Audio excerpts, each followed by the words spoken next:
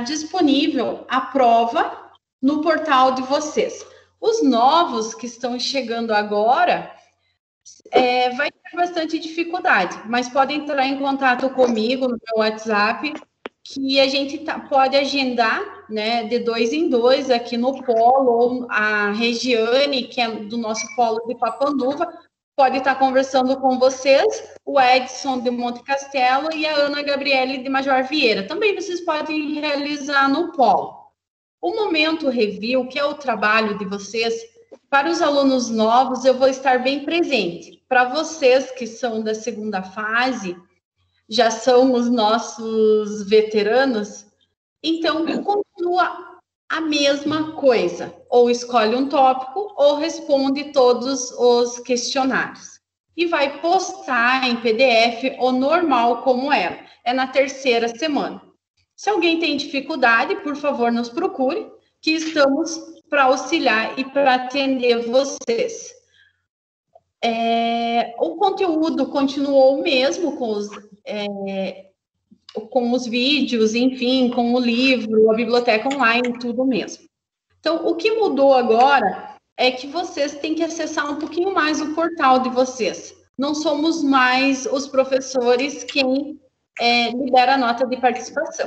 O próprio portal vai gerar essa nota de participação pelo acesso de vocês no conteúdo. Então, o professor só vai corrigir o momento review. E a prova de vocês automaticamente já sai a nota assim que vocês realizarem. Então, agora esse semestre tem prova online.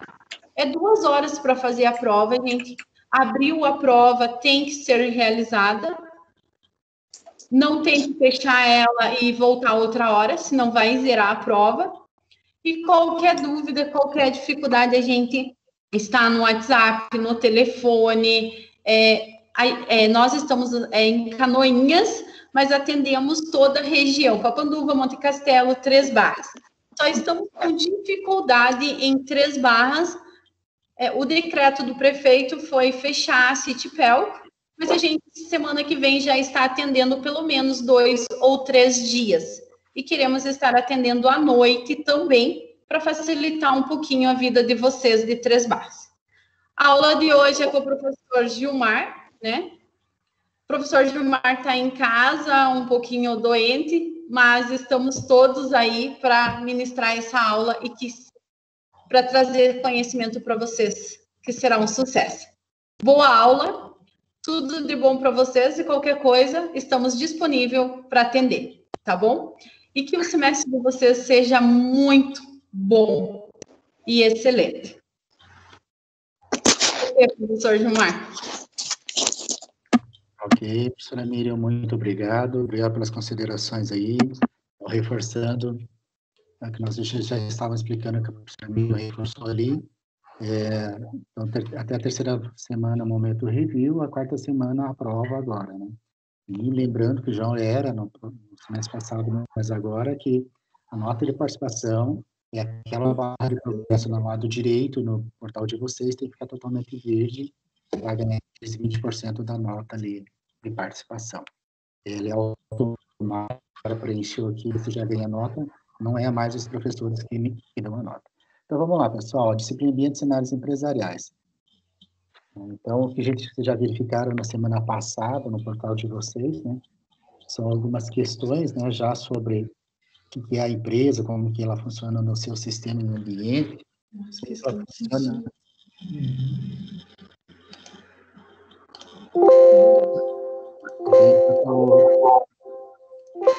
Alguém está com aberto o microfone, deixa eu fechar. Só vou fechar. Ok? Se alguém me dá um retorno do meu som, tá tudo ok? Estão conseguindo ouvir? Ok. Sim, ok. Obrigado. Continuando. É, mais do que contemporâneo o nosso assunto, né, principalmente nos cenários empresariais, né, e essa mudança que nós temos tendo, tendo aí uma, um ano totalmente atípico, ninguém estava preparado para isso, ninguém está preparado para várias questões, e acho que vocês até no trabalho de vocês, nas empresas de vocês também viram muita mudança, né?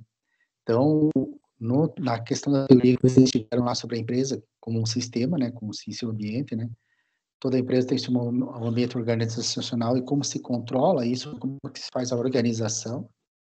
Cenários mercadológicos, né, uma mudança assim imensa que a gente teve, né, e as evidências físicas e cenários de serviço. Então essa foi a primeira semana de estudo de vocês e que a gente vai iniciar um modelo que a gente chama de Business Model Canvas, e ele está disponível para vocês, para quem quiser fazer isso daqui. Isso daqui é um retrato fidedigno de que antes de você iniciar um negócio, de você ter um controle, de você ter um planejamento estratégico, de ter um planejamento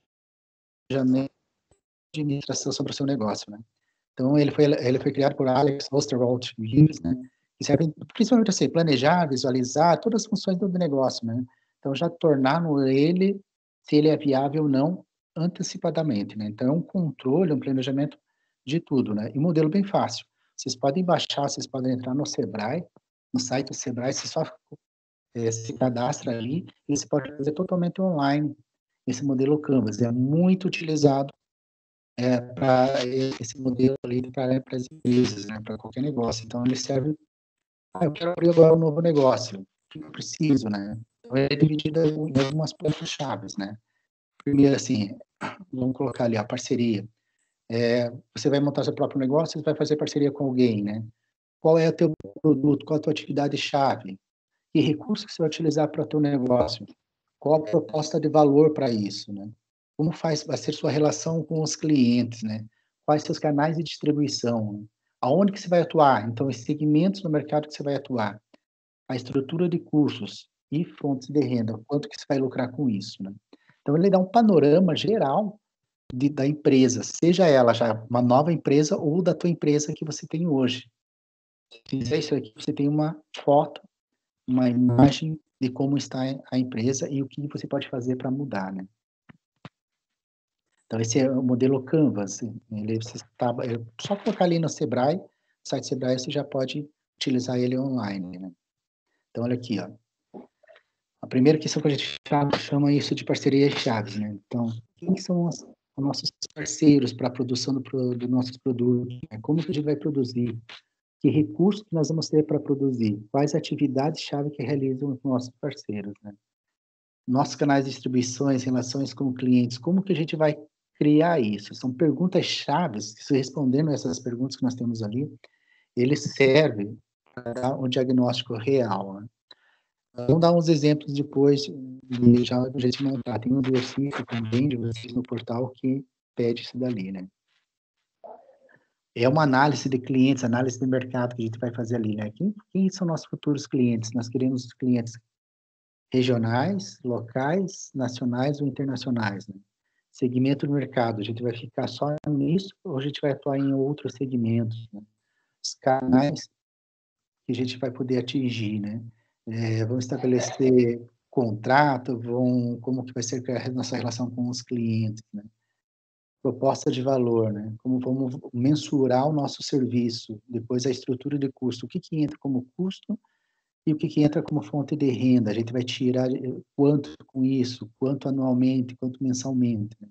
Então ele dá um panorama geral. Isso é o modelo Canvas, né? Para quê? Toda empresa é um sistema, né? uma organização. É, e existe toda uma estrutura nela fornecida. Né? Então, a gente chama, para controlar isso, de governança corporativa. Ele é todo sistema, é, é, desde uma empresa, não só a familiar ainda, quando era o um modelo padrão antigo, né? mas todas as outras empresas, que a gente seja ela pública, privada, que demanda um número maior de empregados, ele trabalha com uma governança corporativa, né? Uma estrutura organizacional que vem lá o diretor, diretor-presidente, abaixo um conselho fiscal, um conselho administrativo, abaixo disso uma linha de diretores, ou seja, o organograma da empresa, né? Então, isso é governança corporativa. Como é organizada a empresa dentro dessa estrutura? Então, uau, como é feito o planejamento, é qual é o orçamento para o próximo ano. Então, isso chama-se governança corporativa. Então, no modelo empresarial, no modelo de indústrias, ele funciona com governança corporativa. Não é uma só pessoa que comanda, mas estrutura organizacional. Essa estrutura organizacional funciona através de gestão de processos. Né? Então, cada qual, cada processo é ligado entre um e outro departamento. Né? E chamado também de Business Process Manager, o gerenciamento de processo para processo, por processos. Né? E funciona como uma organização interligando todos os departamentos. Né? Então, cada, é, cada departamento é gerenciado por uma supervisor, um diretor que responde ao seu diretor do departamento, diretor do departamento ao conselho, volta àquela questão da governança corporativa, né? Um objetivo bem simples, né? Ter toda uma organização, ter toda a empresa funcione como um reloginho, né? Então, mas dividida. Então, cada um faz a sua parte e toda essa parte faz o todo. Então, esses processos de cada empresa, né, ele envolve toda essa gama da estrutura organizacional, né? Então, ele tem que estar gerenciado, ele tem que estar organizada de cima a baixo, de baixo para cima. E de forma que funciona isso, né? Então, a gente já diz dentro da empresa, é, na administração moderna, né, o ambiente organizacional de controladoria, que é muitas empresas, vamos ver, quem, tá, quem trabalha com RP, acho que, Tati, vocês não trabalham ainda, né? Não, professor. Não, não é totalmente, totalmente ainda é interligado, né? Certo. Quem, quem mais que tem, Gabriel? Alguém trabalha numa indústria aí? Jefferson, alguém trabalha numa indústria? Débora? Eu, eu trabalho, professor, numa indústria. Na qual, Jefferson? A Master Agroindustrial. Isso. Então vamos usar só de modelo ali onde o Jefferson já trabalha, né? A Master ele, ele já tem esse sistema ERP, né? Que o que significa essa é, é, a gestão de processos que a gente colocou lá. Todos os departamentos são interligados, todos, né? Então quando alguém faz a venda, né, ela já vai para o financeiro, já vai para o setor de compra sair da nota fiscal, que é comunicada ao estoque, que é comunicado à contabilidade e o administrativo. Então todos eles estão interligados, todos os, todos os departamentos e setores, né? E o que a gente chama, que é, é, toda empresa é, é um sistema, uma organização em forma de sistema, né? Então, ele, através da tecnologia, através agora da informática, todos os setores se conversam. Né? A venda que está fazendo lá a parte... Vou mostrar.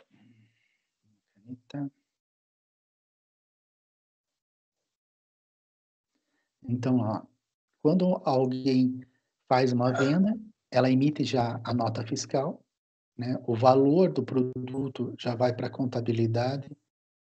Da contabilidade ali, ele já saiu no setor de compras para emissão, ele está no financeiro já emitindo o boleto, né? o estoque já faz a reserva de qual é o produto e encaminha. Né? O administrativo, no final do dia, já tem o um relatório de todas as vendas. Né? Então, ele é, todos os departamentos são interligados todos os departamentos funcionam redondinho. É isso que a gente chama lá que precisa ter uma gestão de processo, uma organização, um planejamento. Né? Então, todas as indústrias e empresas modernas já adotam esse modelo aqui, ERP, que é de organização e controladoria.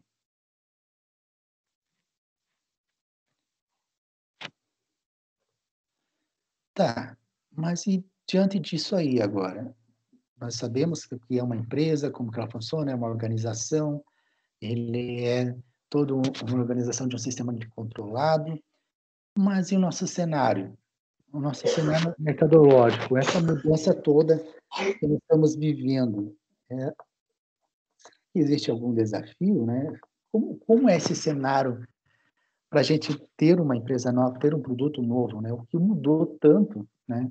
Do que a gente alguns meses atrás, agora uma, uma, um ambiente, um cenário que é totalmente diferente, né? É, nós estávamos com uma, uma, uma prospecção de planejamento e de desenvolvimento do Brasil de várias questões, né? É, houve essa essa parada inicialmente e agora está novamente em crescimento. Mas o que, que mudou? Né? Então, vamos lá para os serviços, para indústrias, todo o modelo mercadológico, um cenário mercadológico totalmente diferente, né? Surgiu novos negócios, impulsionou as, as teleentregas, impulsionou a produção de máscaras, é, de bens de saúde, os, os remédios, muita coisa aumentou, mas outras também pararam, né? Então, para quem estava no cenário lá da, vamos dar um exemplo, né, de shows, é, esse ano cantores, é, toda essa área assim de de lazer, ele foi afetada e vai ser quase uma das últimas que vão voltar ao padrão, digamos, normal, né? enquanto outras também. Ó, vejo, vamos ver lá a questão de, de ônibus também, quanto que afetou o transporte de passageiros das indústrias, intermunicipal e interestadual. Né? Houve uma, uma mudança imensa. Assim. Vocês notaram alguma coisa também nesse sentido assim, de mudança de cenário na cidade de vocês? Que se já afetou ou vocês acham que está tudo normal? Jefferson, na Master a produção só aumentou, correto? Só aumentou a produção de carne, para exportação uhum. principalmente, uhum. para a China e para outros países lá, né? Só aumentou.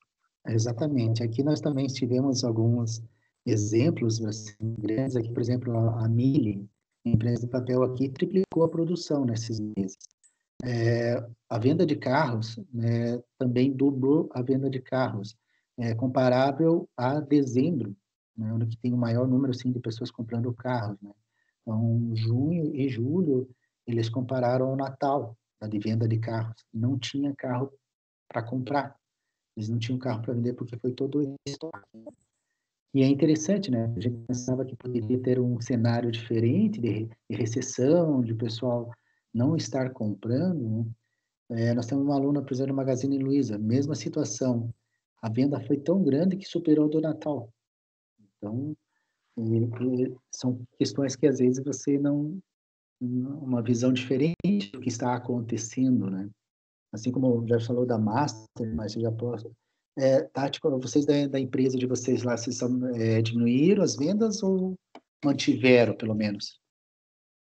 Bom, professor, nós na primeira semana ali, quando começou, aí a gente teve que dar aquela parada, que daí o pessoal estava segurando, né? Não estava construindo. Mas agora dobrou, triplicou, estamos trabalhando a todo vapor. Quase em terceiro turno já. Sim, exatamente. Então a uhum. demanda lá para cima, principalmente, está bem grande. O pessoal voltou a investir, a construir. E para nós, assim, o que está sendo mais dificuldade agora é a, a questão, digamos, do, do tempo, né? Que começou agora a chuva aqui para nós e pelo jeito vai em mais uns dias. Mas em questão de venda e construção, o pessoal tá todo vapor. Acho que estão tudo com medo de morrer e estão gastando dinheiro. que, que assim seja, que continue assim, né? Mas Eu falei tinha... que Teve muitas empresas, professor, que, que tipo, a gente tem os vendedores lá em cima, que batiam, digamos, ali na época de outubro, novembro. Nossa, não estava fácil fazer vendas. Aí a gente perguntava para os vendedores, mas o que está acontecendo, né? Tipo, chegando no final do ano, o pessoal todos querem construir, reformar. Aí ele falava, não sei, não sei, o pessoal não quer abrir mão. E uhum. nessas mesmas empresas, agora foi chegado depois ali no mês passado ou mês anterior e foi vendido assim carretas.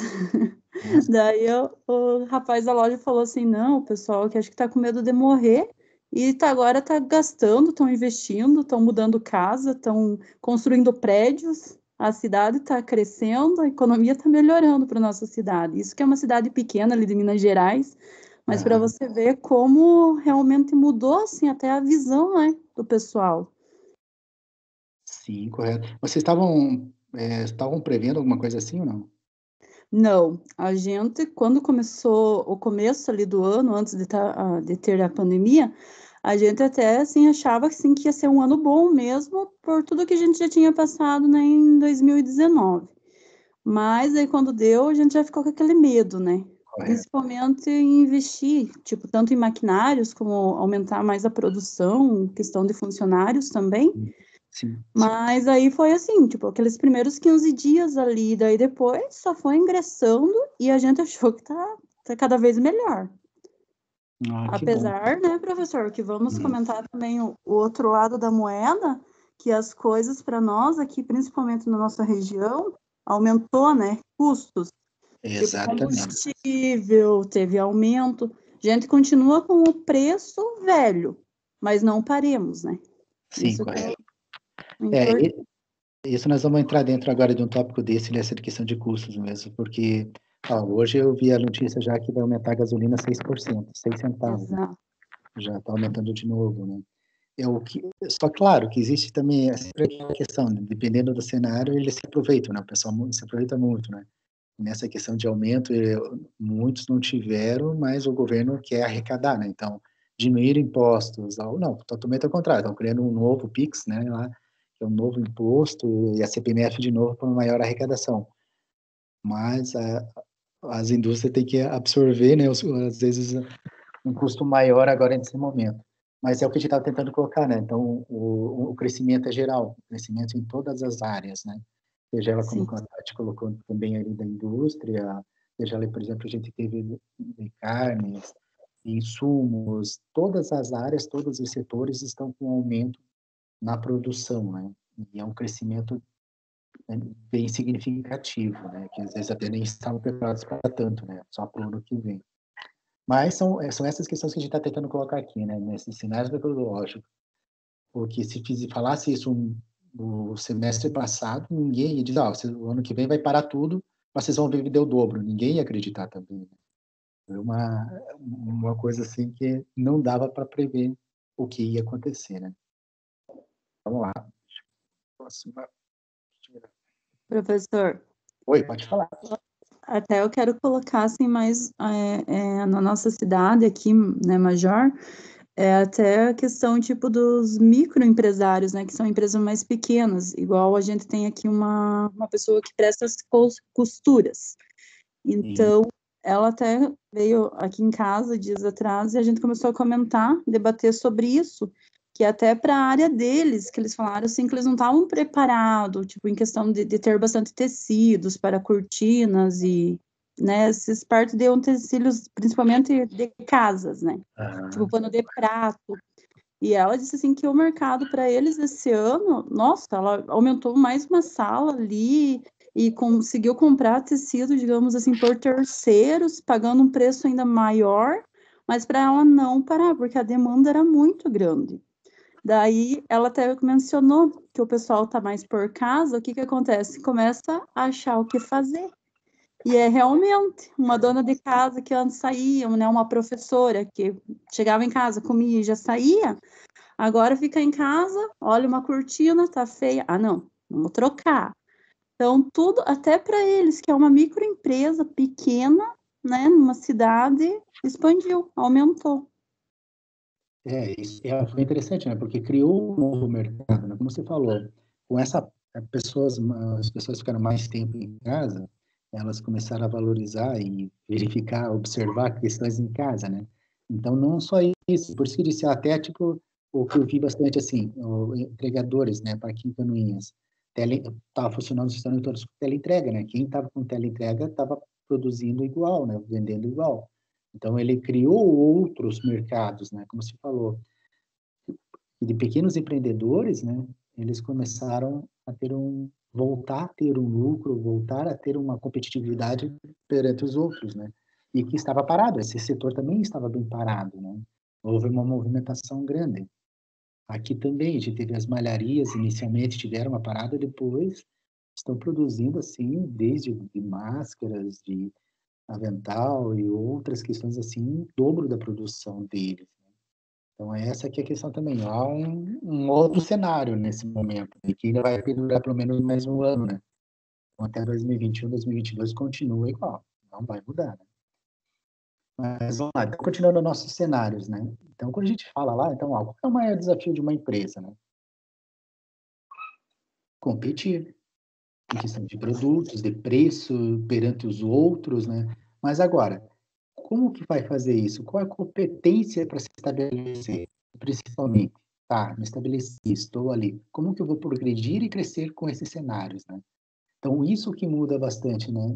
A estagnação, se você ficar parado, é, vem aquela questão assim, vem o outro, oferece um produto melhor ou mais barato e te rouba o cliente já muda, né? Então, a disputa né, pelo mesmo consumidor é muito grande, né? Muitos produtos semelhantes, vamos lá, a gente pode lembrar de algumas questões básicas, assim, né? Muitas questões agora, quase 80% está vindo da China, dos produtos. E como competir com preço? Então, seja, é, assim, não só produtos, alimentos também, né? Então, todas as áreas em que trabalho com manufatura e tal lá, quando, é, e se exporta, é, como competir com essas outras, né? Então, a resposta é agregando benefícios e valores, né? Então, aí, ó, e aumentar é, os seus clientes, né? Então, a questão principal agora é que não conseguimos, o Mercosul, com os outros países agora com as fronteiras estão abertas, né? Então, estou vindo de vários locais e aí que vem a questão das melhorias, né? Estratégia metodológica. Nós estamos num cenário muito competitivo, muito exigente. Isso que nos coloca assim com os novos desafios, né? sistema adotar novos conceitos de gestão e sempre inovar, sempre colocar produtos diferentes, né? Que vá além do tradicionalismo, né? Então, até uma questão como a Tati colocou lá, que estava esquecido, que era cortinas, panos e todos os outros, voltou a ser uma inovação, voltou a, voltou a ser um ponto de venda, um ponto de demanda no mercado. Né? Então, até as pequenas coisas têm que ser observadas. Né? Então, principalmente assim, é a mente aberta e se livrar de qualquer preconceito e sempre pensando assim que limita nossa nossa visão, nossas mentes, né? Tem que pensar muito mais para frente. Né? Então, assim, a questão de novos mercados, novos espaços, novos conceitos, né? O que a gente tem para inovar. E uma dessas questões que a gente coloca lá, que é que eu coloquei lá, que é o modelo Canvas de planejamento, é, ali que a gente tem todo o planejamento do negócio, existe uma outra ferramenta que é muito, muito importante, que serve a pessoal. Né? Então, até uma análise pessoal, e depois você consegue, a hora que você entende ela, você consegue ter uma análise de qualquer tipo de negócio que essa a gente chama de SWOT, né? Strength, Weakness, Opportunity e Threats, ou força, fraqueza, oportunidade e ameaças. No português é conhecido, vocês lembram bem, ó, vou dar uma dica para vocês nunca esquecerem, né? Essa ferramenta chama-se FOFA. Por quê? Força, fraqueza, oportunidade e ameaças, né? Vocês vão ver ali que eu vou explicar para vocês como que funciona isso. E vocês conseguem ter uma uma visão, vocês conseguem fazer de qualquer negócio. E eu quero que vocês ali depois, todo mundo já que tem que trabalhar na empresa, no negócio, ou no seu próprio emprego, faça essa avaliação. Você já consegue dizer, ah, a empresa está muito bem, a empresa está muito ruim, é, ela tem todo o potencial para crescer muito ano que vem. Então, é um quadro que toda empresa deve ter na direção, no seu conselho ali, seguir isso dali, zerar um e aumentar o outro. A gente vai explicar bem certinho. Então, essa chama-se análise SWOT, né? que são uma análise de pontos positivos, negativos, interna e externamente. Vamos dar aos exemplos. Né? Então, essa matriz SWOT, né, ela trabalha em linhas e colunas. Né? Então, a primeira linha é tudo o que acontece dentro da empresa. Então, vamos fazer primeiro uma análise aqui sobre nós, né? Quais são os fatores que a gente tem? O que a gente mais tem de força? Ah, eu tenho, é, vamos lá, eu tenho muita vontade de aprender, eu tenho muita experiência. É, quais são o que, que o que qual é a sua força para você trabalhar, né? Negativo. Ah, sou pessimista, não acredito nas questões, tá ok. Que oportunidade que eu tenho? Ah, posso fazer novos cursos, estou fazendo um novo curso, estou querendo aprender, né? E qual é a ameaça? Ah, inflação, desemprego, tal lá. Então, você consegue, desde você a qualquer outro tipo de negócio, fazer essa análise, fazer essa, vocês têm essa visão. Então, no Força, a empresa, vamos fazer sobre a análise de uma empresa agora, né? Então, tudo que necessita citar todas as suas vantagens em relação à concorrência. Para pensar seus melhores recursos, bens, serviços, vantagem competitiva. Então, o que, que a gente consegue ter na empresa? Ah, minha empresa é tradicional, tem um bom potencial de vendas na região, é, nós temos uma equipe muito boa, é, maquinário é, tecnologicamente bem. Então, essa é a nossa força. Mas qual é o nosso item de fraqueza na empresa? Isso internamente, força e fraqueza interna. Ponto negativo, por exemplo, assim, em relação à concorrência, os colaboradores, ah, não, nossos funcionários não são capacitados, nosso produto é de qualidade inferior aos outros. Então, em relação aos concorrentes, qual que é a nossa maior fraqueza? Nas oportunidades, o que eu posso agir de diferente, o que eu posso fazer de diferente para ser sobressair externamente né, perante os outros. Né? Ah, eu posso, eu vou ampliar a minha empresa, eu posso abrir filiais em outras regiões, é, então tem várias outras oportunidades. Nas ameaças, o que, o que pode prejudicar a minha empresa? Governo, né, aumentar os impostos, é, a política de tributação que nós estamos aqui, ah, o dólar aumentou demais ou baixou demais, então não consigo exportar, é, um concorrente entrando no mercado da empresa, então, se ele é uma ameaça. Então, aqui um resuminho da análise SWOT. Né? Então, o que, que a empresa faz de bem? Qual é a melhor força que ela tem? Qual é a maior qualidade que ela tem? Que tipo de recursos únicos pode se aproveitar? Que vem como sua força, né? De oportunidades. Oportunidade tem disponível tendência, novidades, o que eu posso fazer de diferente. Já nas fraquezas, o que, que pode melhorar? O que tem de menos recursos que os outros? E os outros vêm com as suas próprias fraquezas. E a ameaça, que ameaça pode prejudicá-lo, né? então, da onde que vêm essas ameaças? Aqui a gente vai dar um exemplo bem prático, a McDonald's. Né? Então, análise de SWOT fica avaliando a rede McDonald's. Qual que é a maior força? Todo mundo sabe que eles têm uma eles têm questão de marketing muito grande no mundo, né? Então, e, e, assim, várias lojas, acho que quase em todos os países. Né? Então, qual é a maior força? O nome da marca, a reputação no mercado mundial. Grande número de lojas, uma constante inovação de produtos, então eles estão sempre lançando novos produtos, algo diferente, né?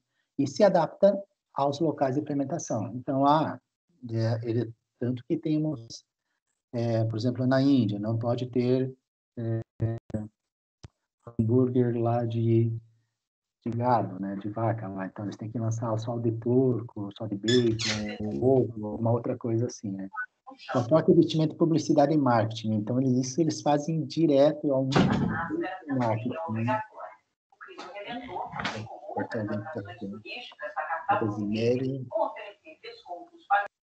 Tá. Vamos lá. Então, o preço sempre é um preço competitivo, né? Então, quem que não conhece, ah, com, ah, com 12 reais compra um, né? Implementação de cadeia de suplementos just-in-time, ou, ou, seja, né? Super rápida com estoque, né? Presença com patrocinadoras em grandes eventos. Então, associa filmes, desenha seus produtos. Né? Feliz, eles sempre estão com uma promoção, envolvidos em vários eventos mundiais. Então, eles têm uma força muito grande nesse sentido. Mas ele, isso aqui, a primeira linha, isso daqui, é internamente, né? Então, a gente está discutindo a força e agora a fraqueza.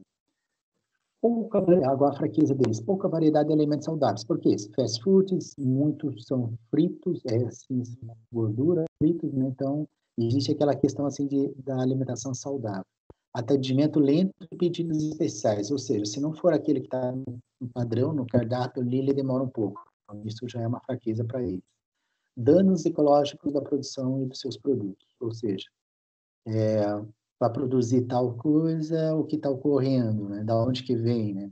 Má reputação quanto ao direito dos funcionários e condições de trabalho, ou seja, um funcionário trabalha de 12, 14 horas direto de pé, correndo em temperaturas altas, alto turnover, ou seja, rotatividade, né?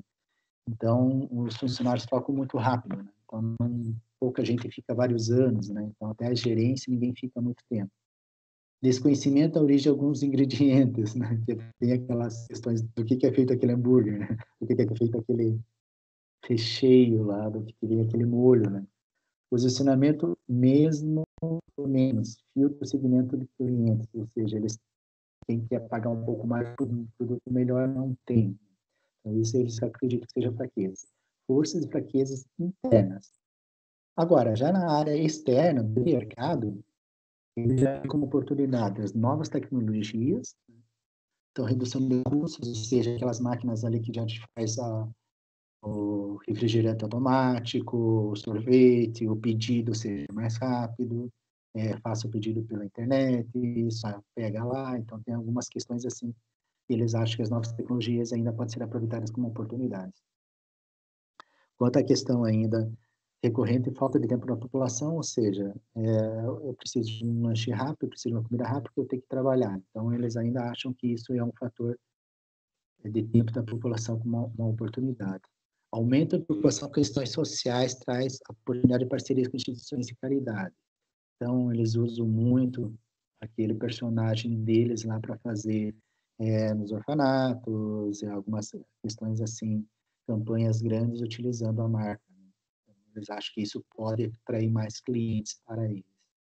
Consciência por alimentos saudáveis traz oportunidade de mudança de cardápio. Então, agora eles estão fazendo aquele é, hambúrguer de peixe, de frango, só salada, oferecendo agora, é, em vez de, de, pão, só um pote de salada. Então, eles estão vendo uma outra oportunidade de utilização dessa mega questão de lojas deles em todo o mundo, mas com essa questão de ter um alimento mais saudável que, que é ameaça para eles? O que, que eles encaram na questão da alimentação de fast food como ameaça externa?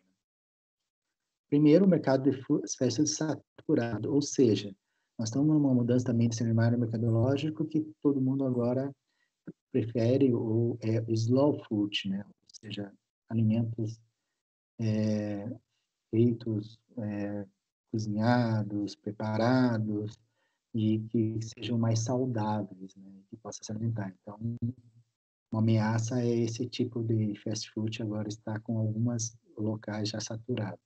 Crescente de alimentos por mais saudáveis, ó, continua aquela questão que volta e da onde que vem os alimentos, os alimentos mais saudáveis. Né?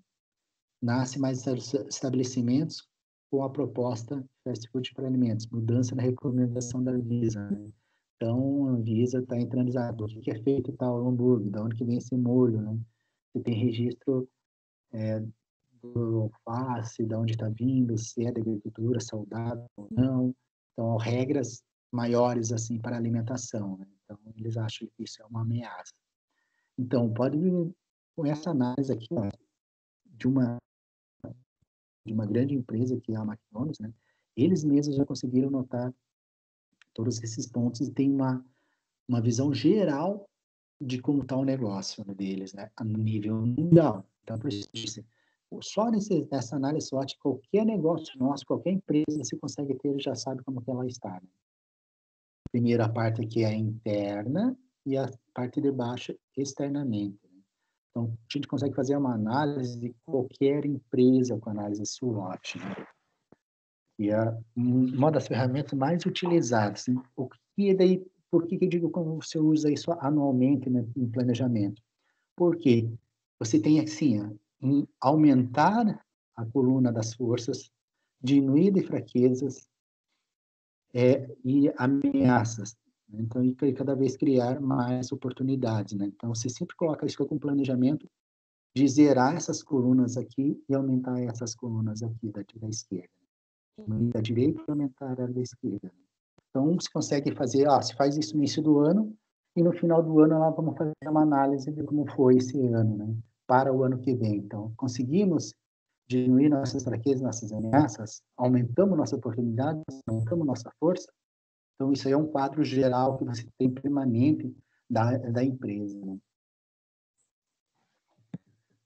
Passando agora é, isso foi a primeira semana que conseguiram é, verificar. Nessa segunda semana, vocês conheceram os técnicas de meta-elaboração de cenários, né? a teoria do ambiente organizacional e essas duas análises que nós estamos fazendo lá, do ambiente interno e ambiente externo. Né? Porque muitos fatores influenciam na, no nosso cenário, nas vendas, na nossa empresa. Né? Então, a gente chama de macroambiente variáveis. Primeira questão, ambiente demográfico, né? Então, aonde que está, o que que faz a cidade, a população, que é mais jovem, mais velha, como que isso pode afetar os nossos negócios, né? Ambiente natural, né? Quais recursos e insumos está relacionado à nossa, nossa matéria-prima? Aconteceu alguma coisa? É, da onde que ele está vindo? Como a gente colocou agora, insumos. Muitos insumos são é, importados, aumento do dólar, né? Houve uma, um furacão lá no tal país, então triplicou o valor, né? Ambiente econômico, como a gente está colocando assim, né? O que, que afeta diretamente para nós o, a variação cambial? Ambiente tecnológico, surge cada vez novas tecnologias, né? E isso como que a gente vai incorporar essas oportunidades para o mercado? Né? Por exemplo, agora, vamos utilizar nosso cenário atual é muito, muito, muito agora aumentou o e-commerce, né? Então, as vendas pela internet, o atendimento pela internet, é, videoconferências, é, próprias vendas, como a, a, é, a Tati colocou ali também, lá do pessoal vendendo norte, nordeste, e a região de Minas ali, então é tudo pela internet, tudo questões de pedidos, né? O que muda também o ambiente político e legal, né? As novas leis, né? O que que é permitido a regulamentação, uma alteração agora, o que, que isso vai mudar para a nossa empresa, né? E até a questão cultural, né? Como assim, o que que afeta, é, como nós estamos a, é, a, atuando social e culturalmente na nossa região, né? Como que a, a, sociedade nos vê também. Então, tudo que acontece assim no macro tem, é, tem reflexo direto no microambiente, ou seja, na nossa empresa, né? Vamos dar um exemplo aqui. Ó. O governo de São Paulo aumentará a partir do próximo ano o semestre de mercadorias atualmente é 12%. O nosso era 18%, acho. Né? Alguém aí que vende bastante? Nossa, é, se não me engano, já é 18%. Então, essa modificação afeta diretamente as nossas vendas, né? Então, o que acontece em outros estados, em outros países, até vai repercutir diretamente também nas nossas vendas, né? Ah, um outro exemplo, as pessoas têm preocupação com seu corpo. Em função desse comportamento, houve um aumento da busca de especialistas da área de saúde que auxiliem no processo de emagrecimento nutrição de qualidade física. Ou seja, a pessoa está pensando em cuidar melhor da saúde, houve uma oportunidade de várias franquias oferecer é, agora várias questões estéticas, né, procedimentos estéticos a nível de franquias. Então, houve um boom do mercado, houve uma, um, um aumento nessa área, né? uma oportunidade de, de mercado. Né? Um outro exemplo, né? alguns especialistas têm condenado o uso de farinha branca. Por esse motivo, as empresas que produzem pães com farinha branca reduziram suas vendas. Né? Então, valorizou aquele lá, eu quero agora um pão italiano, eu quero um pão com sete grãos, voltando àquela questão da tendência de alimentação mais saudável. Né? Um exemplo também, desejo para os celulares cada vez mais modernos tem aumentado que boa parte das pessoas não tem mais interesse de que telefones residenciais. Quem ainda tem telefone residencial aí? Pessoal? Quem tem telefone fixo? Todo mundo dormiu? Em casa não, só na empresa. Pois é, mas essa aí é uma das tendências, né? Quem mais? Vamos lá, vamos lá. Carla, mano. Márcio ainda tem telefone fixo em casa, Márcio? Eu tenho em casa, professor. Tem, Lili? Nossa. Eu ainda tenho também, né? Mas já estou pensando em desligar também. Mas é uma mudança, né? Uma mudança, assim, que o que era antigamente, né? Uma, eu digo assim, né? É, antes de agenda telefone era a, cabeça, a, nossa cabeça. A gente conseguia guardar em torno de 20, 25 números na cabeça. Eu acho que agora você consegue dizer cinco números completos de telefone sem consultar o celular. Ainda conseguem? Rosemary hoje está quietinha, Rosemary.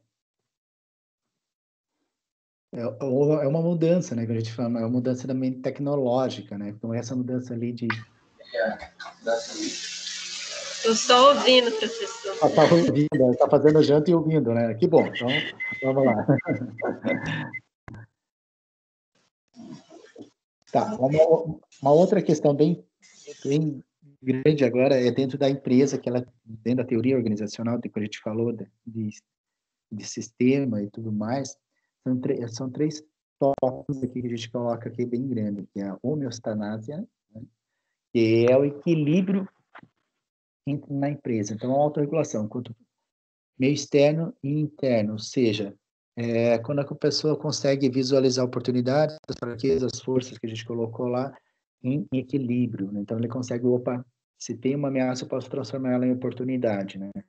Então, ela consegue lidar, igual nesse momento de pandemia, não entrar, que a gente chama da entropia, que é uma tendência à desintegração da informação e energia do sistema, ou seja, uma entropia é o que a gente tem que evitar dentro da empresa, né? Que é o desastre, é, que é a questão assim de não se mais se encontrar nos processos, começa a desabar tudo, né? Começa a não dar certo mais nada dentro da empresa, né? Isso se chama -se entropia, né? E o que faz assim, ah, começa aquela relação, ah, o setor de compras não está conversando com o setor de estoque, que não está conversando com a contabilidade, começa a gerar atritos, a equipe não está trabalhando em sintonia, não está mais em uma estanácia, que a gente chama, né? E ela começa a se desintegrar a empresa, gerar mais conflito, mais problemas do que soluções. Isso é entropia. Então, isso que é evitado dentro das empresas. E o que é, é tentando sempre é a sinergia, é juntar todos os pontos fortes, toda essa sintonia dos departamentos para aumentar a produção, para todos trabalharmos em equipes. Então, por aí vem toda aquela questão de valorização de pessoal, de cada funcionário, de trabalhar, de ter líderes e não chefes, de transformar é, a, toda a nossa força ali em uma sinergia conjunta, uma sintonia. Né? Então, a entropia, associada ao grau de desordem de um sistema. Um sistema tende ao equilíbrio, tende a esgotar-se, ou seja, tendência das estruturas diferenciais é mover-se para a dissolução, à medida que os elementos que compõem se acomodam em desordem aleatória, ou seja, conflitos dentro da empresa, é, objetivos diferentes, né, de cada setor, não em sintonia. E isso ocorre, então, passar em estado de outro, que consome toda a energia da empresa em vez de ser utilizada para o bem, é utilizada para o mal, ou seja, há uma degradação da empresa. Né? Já a sinergia ao contrário, né? que o ajuste entre diversas funções da empresa, ou seja, todos trabalhando em sintonia. Atividades distintas e individuais afetam umas às outras. Então, e aí que vem a questão da administração da liderança, né? para todos termos uma unicidade na visão organização e principalmente os critérios estratégicos para atingimento dos nossos objetivos, da nossa missão da empresa. Um fator muito importante para nós. Dentro ainda da análise, análise do ambiente externo, é, a gente coloca lá do que pode ser afetado externamente lá, das ameaças, é, os fatores externos que nós temos ali de oportunidades, mas principalmente assim de ameaças, a gente tem que fazer uma avaliação que a gente chama de cinco forças de Porter, né? é uma ferramenta também bem interessante, só que focada no quadrante externo lá, análise SWOT, né? que é a ameaça do ambiente externo. Né? Então, essa ferramenta, ela tem influência na capacidade da empresa atender seus clientes e obter lucro. As cinco forças de Porter funcionam como pilares para a empresa. A ideia é de que cada pilar seja mastigado, a empresa precisa reavaliar o seu posicionamento estratégico do mercado. Ou seja, ela dá uma chacoalhada. Né? Ela é uma, uma ferramenta para dizer assim, tá, nós estamos aqui, nós temos que melhorar, não podemos ficar igual. Né? O que, que não pode, o que, que nos afeta, né? Então, essa análise é feita da seguinte maneira. Vamos pegar um produto que vocês têm principal da empresa, né? Existe outro, pode surgir outro produto que substitua o nosso? Na primeira pergunta, né? Pode outra empresa produzir algo novo? Entrar uma outra empresa produzindo nosso, um produto igual ao nosso, melhor? Qual o poder de negociação dos clientes? Eles pagam à vista, a gente pode oferecer outras condições para eles? Qual o poder de negociação dos fornecedores? Posso achar outros fornecedores em outras regiões que forneçam o mesmo produto ou melhor com preço diferenciado? Rivalidade entre os concorrentes. Né? Existe, né? Existe uma competição, como nós estamos nesse cenário. Então, não é uma coisa ruim, na verdade, é, uma, é como eu falei para vocês, é uma análise de como a gente melhorar o nosso produto e diminuir as ameaças. Né? Então, vamos lá. Poder de negociação dos fornecedores são os fatores que podem aumentar e diminuir o poder. Né? Grau de eficiência, custo de produção, como a gente colocou, ameaça de produtos substitutos, a rivalidade entre os clientes, a ameaça de novos concorrentes, poder de negociação. Então, são cinco perguntinhas que a gente consegue ter toda uma análise do que pode afetar o nosso negócio o nosso produto. Como que funciona isso? Vamos dar um exemplo na prática.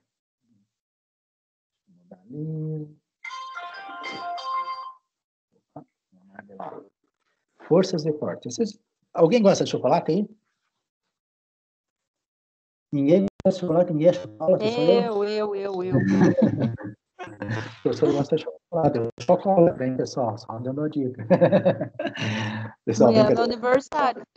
Ah, é? Que bom, parabéns. Quem gosta? Já pode mandar. Parabéns para você. Não, quero chocolate. Pode vir tudo em chocolate. Pode vir tudo Tá bom, Tati. A gente leva chocolate para você lá. Vamos dar, vamos dar um exemplo na prática das forças de, as cinco forças de Potter, né?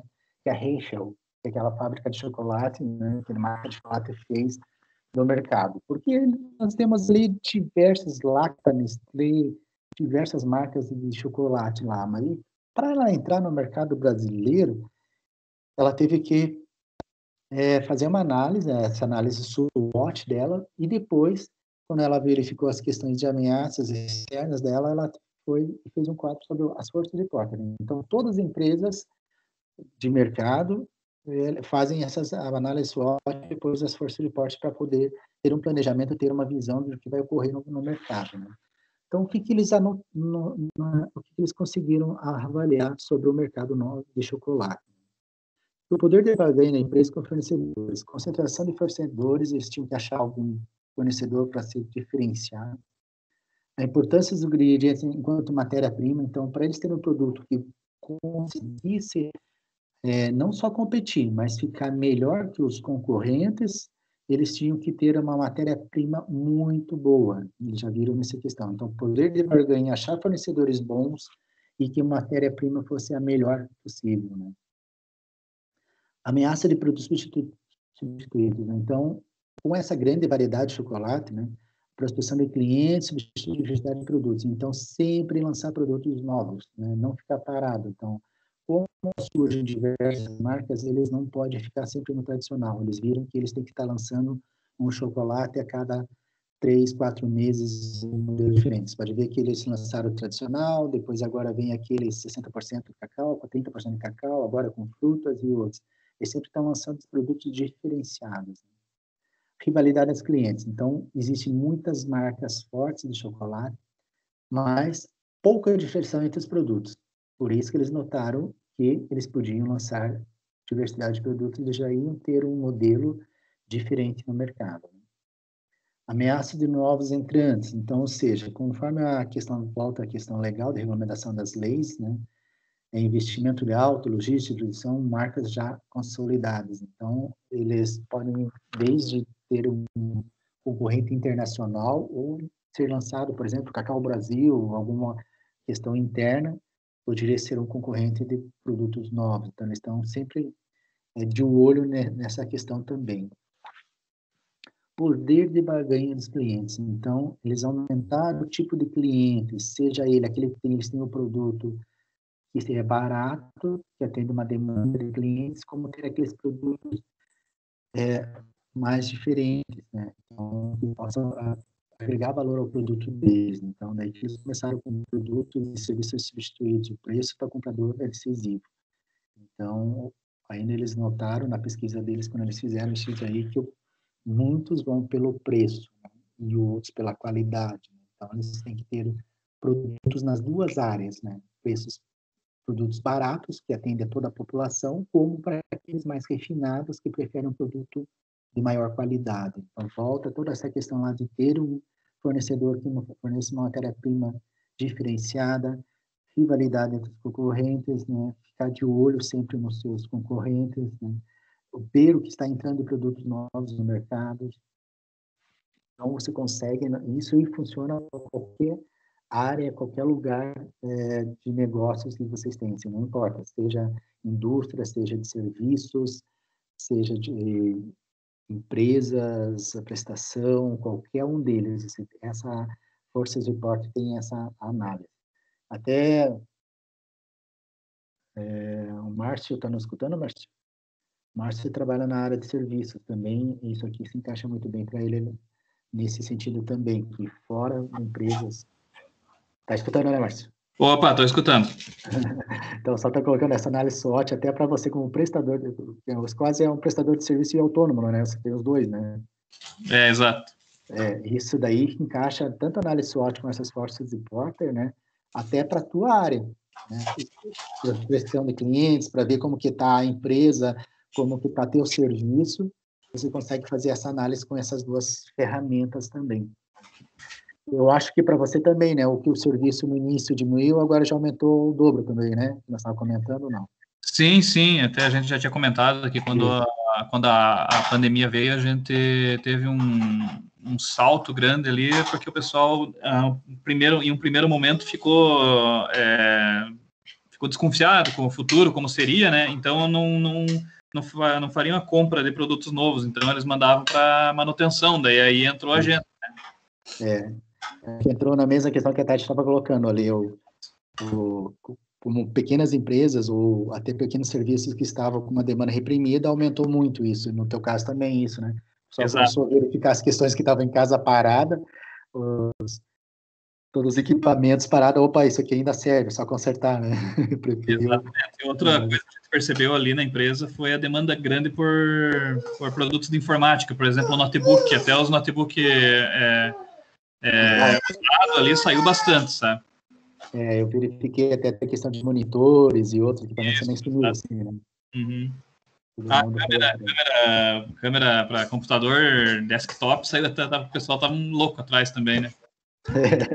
a demanda por videoconferência para home office. Já estavam jogando fora, já tinha, já tinha sido jogado fora bastante coisa disso.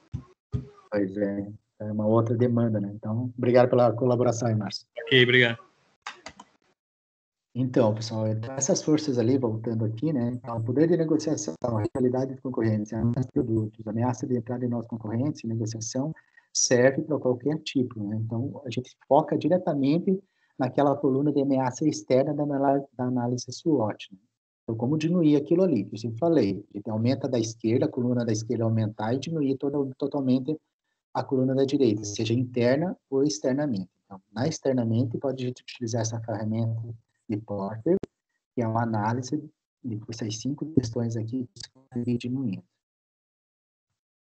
Ainda dentro dessa análise do ambiente externo, né, do ambiente que a gente está fazendo a, a, a, análise, né, então junta muita questão assim, os vários cenários, né, os vários cenários que possa acontecer, né, então não só um cenário fixo, né, é, daí entra assim, ajuda o direcionamento do planejamento estratégico, ferramenta utilizada, possibilidade de entender as forças internas e externas que agem, né?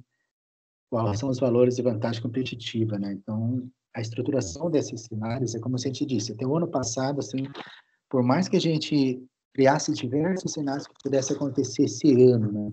Se fosse lá em, ó, nós estamos em agosto do ano passado, se a gente retornasse um ano atrás ali, em agosto, quando a gente estava no segundo semestre lá, dissesse para vocês, ó, esqueçam tudo, vocês vão ficar parados, tudo, tudo vai ficar fechado no ano que vem.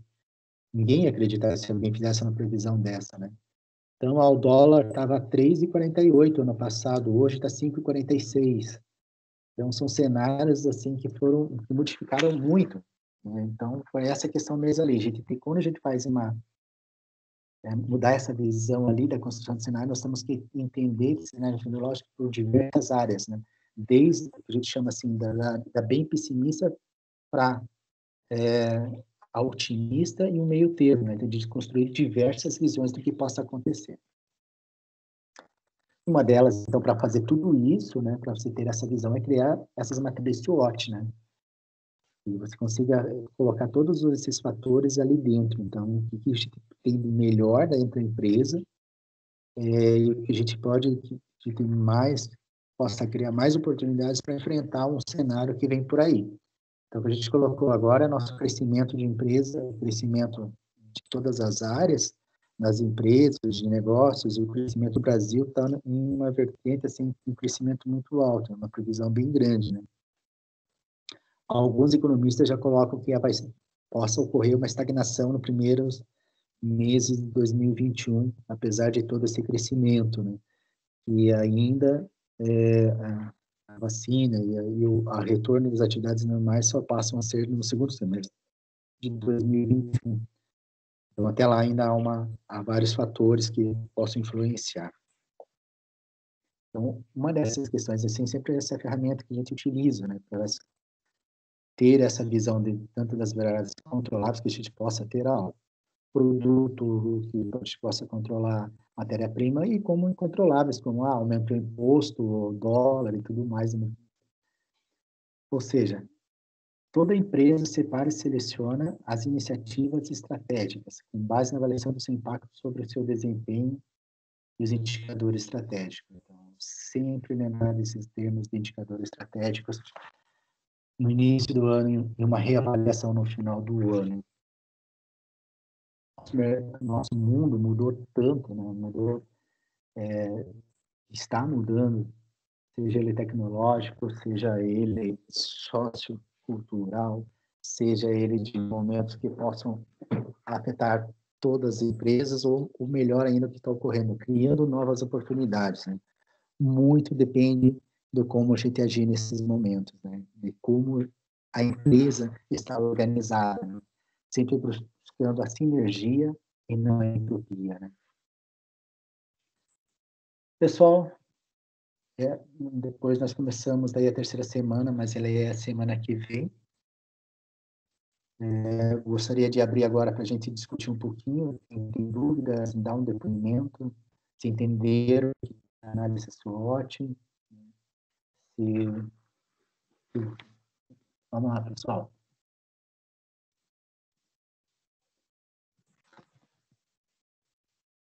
Agora, acordem, por favor, todo mundo acordando. Amanda, Carla, estão vindo? Sidmar, vamos lá. Débora, Elisa.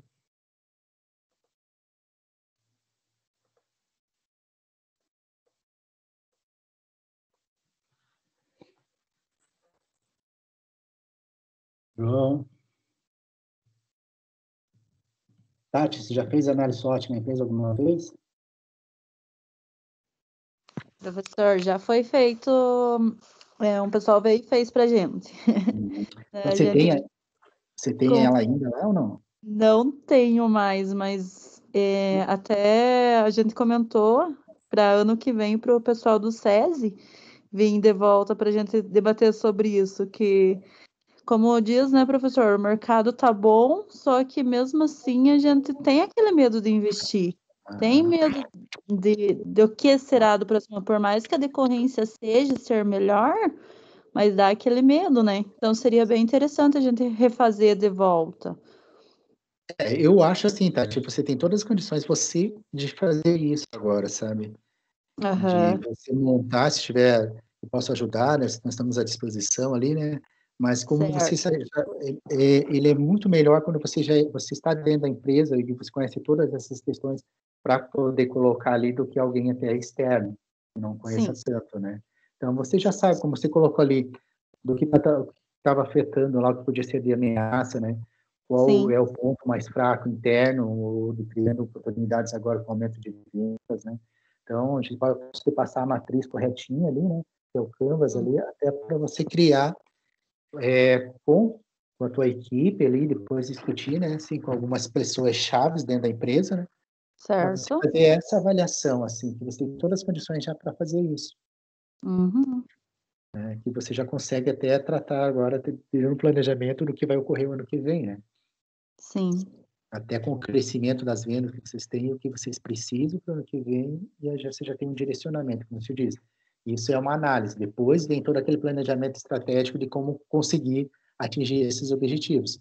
Mas essa Sim. é uma fotografia da empresa, né? Então, acho que a gente pode discutir depois e se você precisar eu te ajudo a, Não, você, a, a você fazer essa análise da empresa, sabe? Sim. Ter essa, vai ajudar muito para vocês ali dentro da empresa.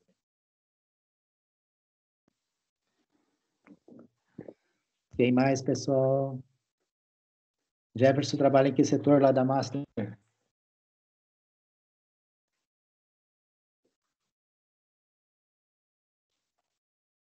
Gabriel. Gabriel.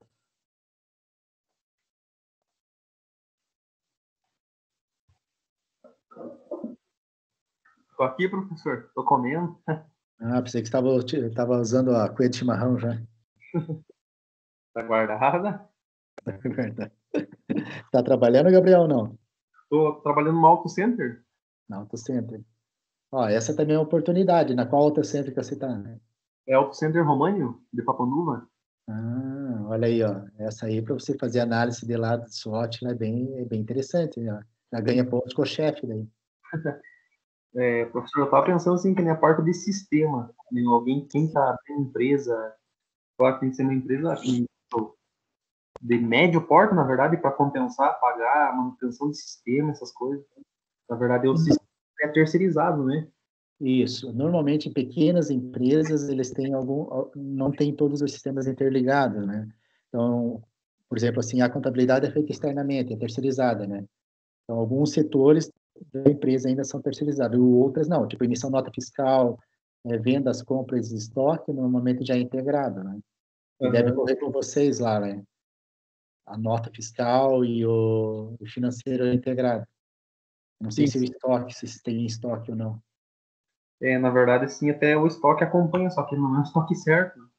Uhum, isso. É, como é, a gente trabalha muito, né, muito corrido, por exemplo, a, tem um carro para arrumar, chega a peça, já não dá nem tempo de lançar, já tem que montar, tem que, né, para não deixar acumular e assim. Então, às vezes é feita a saída da, da, da peça e não é dada entrada, sabe? Exatamente. Esse já é um ponto, né? Por isso eu disse que é muito interessante até essa, é, quando se faz essa análise SWOT, a empresa onde você trabalha já ia acusar isso, né? Seria internamente um ponto fraco, né? Para melhorar, né? A questão é. de estoque então, do que está ocorrendo, né? Então, pode ver, se você fizer isso, você vai identificar vários pontos ali, e não importa o tamanho da empresa. É uma análise é muito legal, assim, do que possa melhorar dentro da empresa internamente, né? Como se diz assim, ela não, é, não precisa ser de médio porte para ter integrado os serviços ele facilita, né? Por exemplo, se essa peça de estoque lá tivesse, quando chega ali, tiver o controle, é um, um código QR Code, e estivesse integrado o estoque com, com vendas, com tudo, só passava o código de barras ali, o QR Code, ele já lançava direto, você não precisava lançar, né? Sim. Não, não afetaria, né? Então, é. agilizaria o processo, né? É. é. Tinha que ser mais facilitado, né? Porque hoje, para entrada de uma nota no sistema, você precisa puxar o código de barra, baixar a nota né, pelo portal da nota fiscal eletrônica. Uhum. Depois cadastrar a peça, cadastrar o preço dela, é, se ela é. Depois o preço, o custo do, o custo do serviço, né? E daí tem aquele do ICMS também, que conta, Isso. é óleo, uhum. é outro, né? Isso, é, são, várias, são vários, literalmente variáveis, né? Que Isso. alternam. Né? Então, às vezes a nota sai mais, demora mais para preencher do que o próprio serviço. É, verdade. Ah, mas é bem interessante. Mas essa pode, ó, a hora que tiver um tempinho aí, já vai até para você que você vai ter ali de, dentro da matéria, né? Mas talvez uma hora você só imprimir esse quadro ali e fazer lá como vocês estão dentro da, da empresa. Sim. Legal. Obrigado. Mais alguém, pessoal? Jefferson? É. Professor. Diga, Tati. Tá vendo como é que todo mundo está trabalhando sobre pressão ultimamente? Aquilo que nem chega é, alguma coisa do correio ou transportador, aquilo que não dá tempo nem de lançar, já tá. Meu Deus, é loucura. Tá uma é, ele tá, é isso que eu também eu eu prestei atenção de vários setores estão com essa mesma questão mesmo, de um aumento, assim, de uma velocidade de, seja de serviço, de produtos, assim, quase, tipo, tudo para ontem, né? Exato. Tão rápido, assim, que está vindo e está ocorrendo, que agora, às vezes não temos tempos, assim, para tentar sentar e dizer, ó, organizar tal coisa em seu lugar, né? Ele está vindo tão intenso com essa mudança toda aqui que literalmente não dá para parar, né? Acho Sim. que deve estar tá ocorrendo em, ali com vocês direto isso também, né? Porque, ah, saiu uma venda aqui, já tem que entregar o produto, o cliente já está pedindo, já está chegando outro, já está faltando matéria, tem que ir atrás de matéria-prima. Sim. É, e como o professor né, falou ali das empresas, nós ainda temos a contabilidade que é feita por fora, né? Porque a gente Sim. não faz in, interno dentro da empresa. Aí quando chega para fechar, olha, a gente quase quebra a cabeça. Onde está tal nota, né? Da onde que veio isso, né? Aham, exatamente. Não foi tirada a nota, tem que tirar a nota. Então é aquilo que quando dá tempo a gente dá aquela notadinha, no, né? Mas senão é. É, é isso, é isso que a gente fala ali, né? E ter cuidar, cuidar com o que a gente chama de entropia, né? Porque essa chega tanta, tantas questões que às vezes começa a fazer a desorganização, né? Do que tudo que você tinha organizado e, e os fatores e tudo se seguia numa, num trâmite está sendo atropelado, né? Exatamente. Então, algum momento vai ter que parar de opa, calma, respira, vamos organizar, né? Vamos organizar de novo. Né? Que chegar esse momento, né? Uhum. Mas é geral mesmo. É, está correto que uh, bastante gente está falando a mesma história mesmo. Assim, tá? Como ali o Gabriel falou, chega uma coisa, já está saindo, já tá, tá, ele aumentou aumentou muitas questões ali de serviços, de produtos, assim, muito rápido. A demanda, né? E mais, pessoal?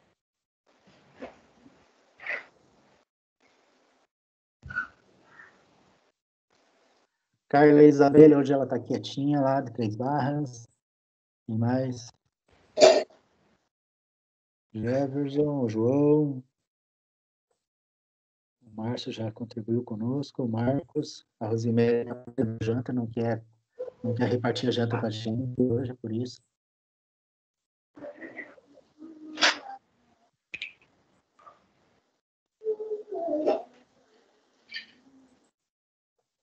Certo, pessoal? Se não tiverem mais alguma dúvida, para tirar dúvidas ainda dessa primeira e segunda semana, né? Na semana que vem a gente tem o mesmo bate horário, o mesmo local aí nessa sala.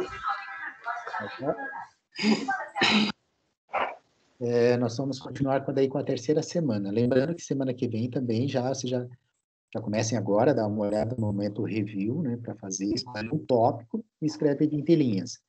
Postagem até semana que vem também, né? E na quarta semana, nós temos lá a prova, a mudança agora da prova online, e a hora que vocês começarem a fazer, vocês têm duas horas para realizar a prova online. Essas são as mudanças. Você pode ver lá que... O prova, professor? Oi? Na quarta semana, o dia que vai ser para fazer a prova? É, ele abre o link ali na quarta semana, né? Na quarta semana ali você tem... Pode escolher de segunda a sexta-feira para fazer a prova. Você escolhe o horário e o dia para fazer a prova. Ele abre, ele abre a semana e a prova para vocês. Mas na última semana, na quarta semana. Uhum. Tranquilo. Mais alguma dúvida, pessoal? Pois é, professor, eu perdi ali no começo. O professor explicou.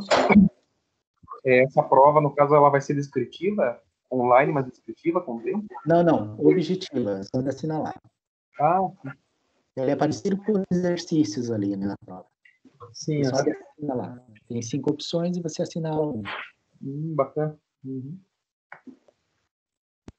É bem tranquilo. Gabriel, falar alguma coisa? Diga, Professor, você vai mandar essa aula é, para nós? Sim, no link?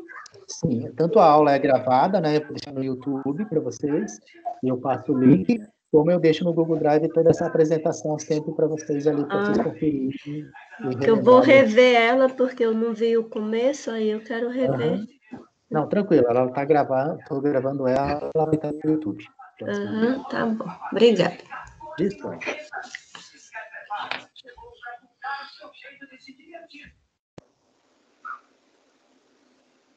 Pessoal, agradeço a participação de todos. Então, nessa semana, semana que vem, de novo, das 19 horas, estamos aí para a gente continuar daí.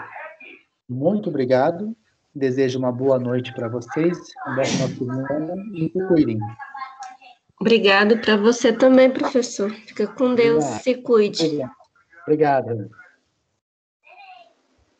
Boa noite, professor. Boa noite. Tudo bom. Obrigado.